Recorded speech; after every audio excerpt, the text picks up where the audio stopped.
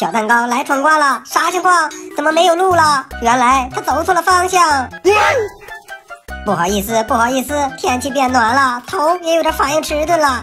哎呀，我的天，这是到了哪里呀？难道这是迷宫吗？我要找到出口，找到出口。哎，出口就在这里。哇塞，怎么还是一个大下坡呀？哎，加速加速！哇塞，好险呐，差一点就掉下去了。哎，怎么这里又是一个迷宫啊？我该走哪里？还是走左边看一看吧。我慢一点，慢一点，一定要找到出口。哎，这里是死胡同啊！不行不行，我还是往回走吧。看来只能在右边寻找出路了。来来，继续往前走。哇塞，这迷宫也太难走了吧！看看这里有没有出路啊？哎，终于找到了出口，又是一个下坡。哎呦我的天啊！哎，慢一点，慢一点，慢一点，慢一点啊！千万要减速，我们不能掉下去，下面可是万丈深渊呀！来来来，继续加速。哇塞，又到了一个大转盘，中间有个小洞穴，我们钻下去。哇塞，终点就在眼前了，闯关成功！哇小五妹呀，小五妹，你在干什么呀？你为什么有这么多这么可爱的小英雄啊？我看这些英雄攻击力很强啊，可以射出弓箭和发出炮弹。原来这些怪物是千仞雪和比比东，还有朱竹清用魔法变出来的呀。他们想用这些怪物去伤害唐三哥哥，这怎么可以有人去伤害唐三哥哥？小五妹呀！你一定要好好保护唐三哥哥。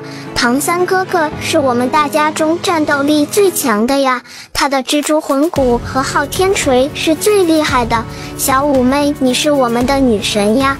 小五妹呀，小五妹，你一定要打赢千仞雪和比比东他们！快看快看，怪物又来了呀！这些怪物一定不是小五妹妹的对手，你一个八段摔就可以把他们摔死。听说比比东和千仞雪上次要去找唐三哥哥玩，但是我们的唐三哥哥没有理他们，因为唐三哥哥说他只想和小五妹妹玩，所以他们这次才会用怪物来伤害唐三哥哥。小五妹呀，你还有很多支持你的小伙伴们呢，他们一定会保护你，他们不会让比比东和千仞雪来伤害你和唐三哥哥的。小五妹呀，小五妹，你真是太漂亮了，而且你也非常善良，你一定要和唐三哥哥好好在一起呀。至于比比东和千仞雪，唐三哥哥一定不会理会他们的，唐三哥哥根本不会和他们玩的，唐三哥哥只会和小五妹妹永远在一起。唐三哥哥前几天和我说，小五妹妹在他心中是最好的、最漂亮的。哎呀！